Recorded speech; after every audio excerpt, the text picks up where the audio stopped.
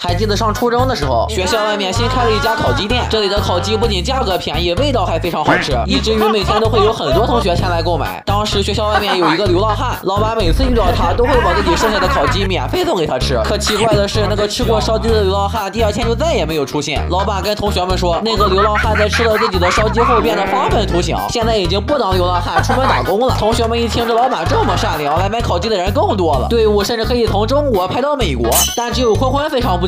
因为他发现这个老板每天要做那么多鸡，却从来不进货，而且那个流浪汉特别懒，根本不可能出门打工。还有那个老板卖的鸡肉有一股怪味，吃起来特别酸。到了晚上，坤坤起来上厕所的时候，刚好看到老板正在偷偷摸摸的往仓库跑。坤坤赶紧跟了上去，结果发现老板进入了一个小工厂里，在确认四周无人后，老板用鸡眼把门封了起来。坤坤一看，这老板果然有问题，于是便偷偷趴在窗边偷看了起来。可坤坤看了半天都没发现老板去了哪里。可这时坤坤突然想到了什么，知道自己已经。逃不掉了，你知道是为什么吗？